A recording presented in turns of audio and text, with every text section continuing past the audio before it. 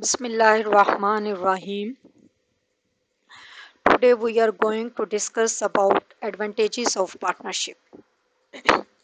हम सब जानते हैं कि बिज़नेस ऑर्गेनाइजेशन की बेसिक तीन फॉर्म्स होती हैं सोल प्रोप्राइटरशिप बिज़नेस पार्टनरशिप और joint stock company sole proprietorship business वो बिज़नेस होता है कि जिसमें एक ही शख्स की इन्वेस्टमेंट होती है और तमाम प्रॉफिट और लॉस का जिम्मेदार वो खुद होता है और बिज़नेस के तमाम फ़ंक्शंस वो अकेला परफॉर्म करता है। पार्टनरशिप बिज़नेस वो बिज़नेस है जिसको दो या दो से ज़्यादा लोग मिल के कैरी ऑन करते हैं। और जॉइंट स्टॉक कंपनी का बिज़नेस वो बिज़नेस है जो ऑर्डिनेंस 1984 के रूल्स और रेगुलेशंस के मुताबिक चलाया जाता है। ये एक छोटा सा इंट्रोडक्शन है। तीनों फॉर्म ऑफ़ ऑर्गेनाइजेशन के बारे में। अब हम जो डिस्कस करने जा रहे हैं वो हैं एडवांटेजेस ऑफ़ पार्टनरशिप कि पार्टनरशिप के कौन से एडवांटेजेस हैं जो कि sole proprietorship form of business organisation को नहीं है, या फिर ये कि जॉइंट स्टॉक कंपनी में वो एडवांटेजेस नहीं हैं। A partnership is commonly formed where two or more people wish to come together to form a business. Perhaps they have a common business ideas that they wish to put to test or have realized that their skills and talents complements each others in such a way that they might make a good business team.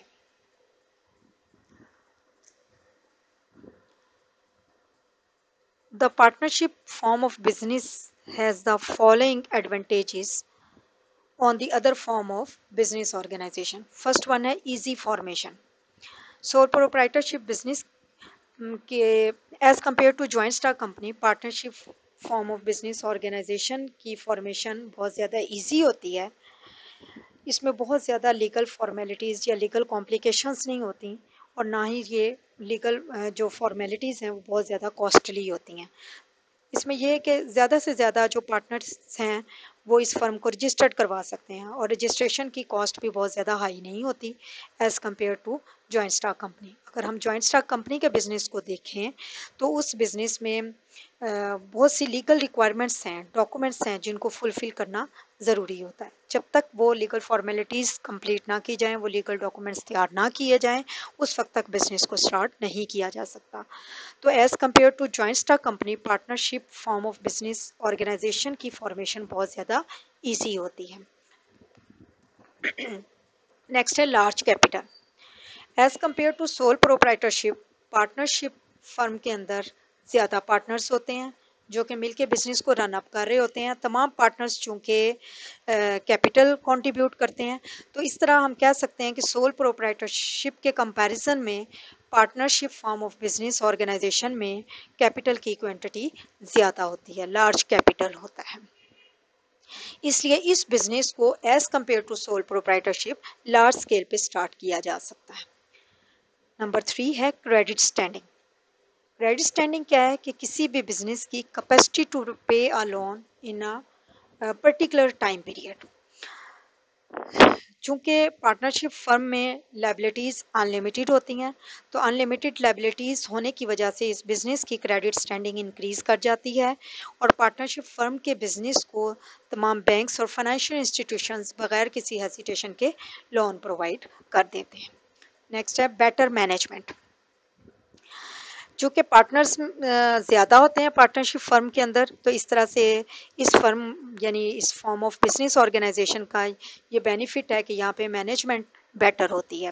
क्योंकि तमाम partners को उनकी skills के मुताबिक, उनकी best qualification के मुताबिक responsibilities और ड्यूटीज़ असाइन की जाती हैं, जिसकी वजह से partnership form of business organisation की as compare to sole proprietorship business management बेहतर होती है।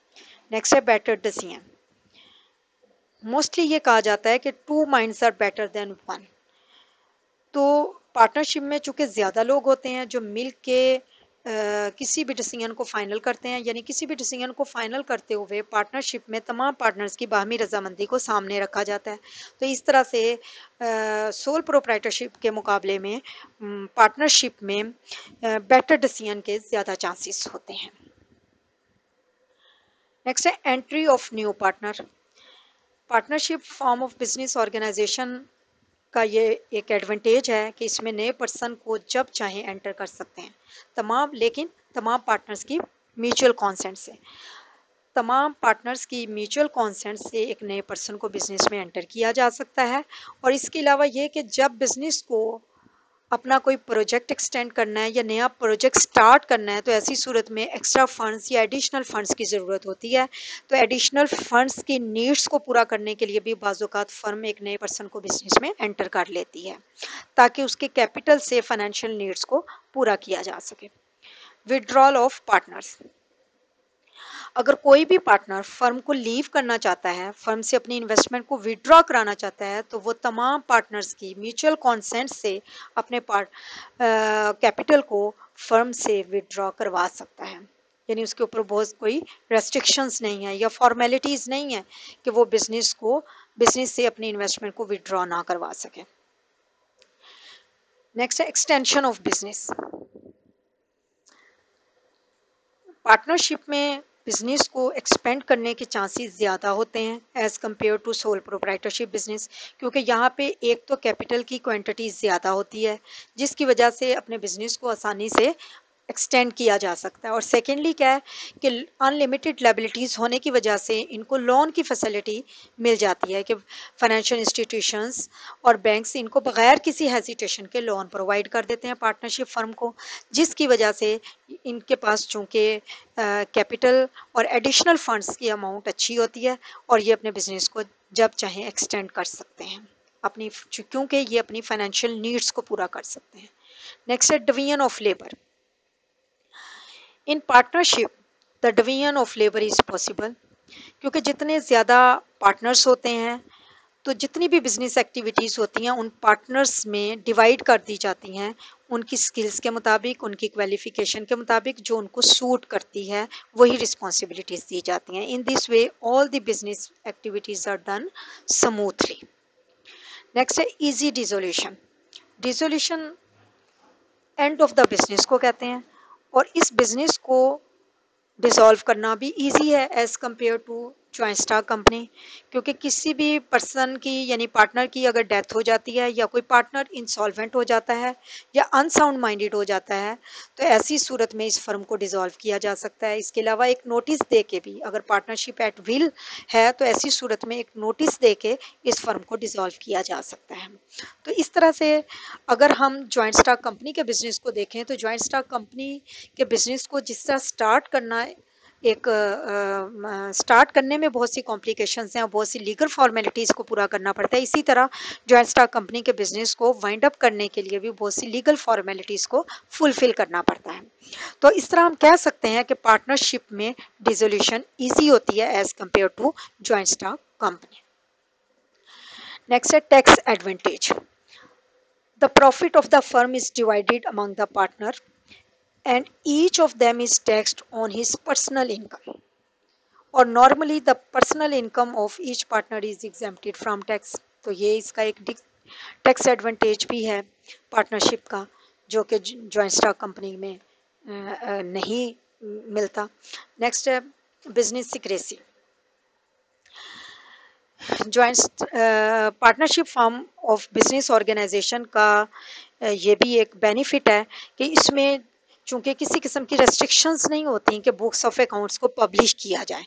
तो इस वजह से इनकी सिक्रेसी आसानी से मेंटेन हो जाती है जबकि एज़ कंपेयर टू अगर हम जॉइंट स्टॉक कंपनी को देखें तो जॉइंट स्टॉक कंपनी के बिज़नेस में रेस्ट्रिक्शन uh, होती है कि वो अपने बुक्स ऑफ़ अकाउंट्स को पब्लिश करेंगे एनुअल रिपोर्ट की सूरत में। तो ऐसी सूरत में उनके सीक्रेट्स मेंटेन नहीं रहते जिनकी वजह से सिक्रेसी को मेंटेन करना मुश्किल हो जाता है। तो हम कह सकते हैं कि partnership business as compare to joint stock company partnership business का ये एडवांटेज है कि यहाँ पे सिक्रेसी आसानी से मेंटेन की जा सकती है। नेक्स्ट है लेस चांसेस ऑफ़ फ्रॉड क्योंकि यहाँ पे ज़्यादा पर्सनस होते हैं, ज़्यादा पार्टनर्स होते हैं जो मिल के बिज़नेस को रन अप कर रहे होते हैं। तो ऐसी सूरत में वो तमाम पार्टनर्स जब चाहें बुक्स ऑफ़ अकाउंट्स को चेक कर सकते हैं, उनकी इंस्पेक्शन कर सकते हैं तो इस तरह से लेस चांसेस ऑफ़ फ्रॉड्स होते हैं। नेक्स्ट है less competition if the firm is registered तो no then no one can start the business with the firm's name तो इस तरह से क्या है कि कंपटीशन के चांसेस भी लेस हो जाते हैं।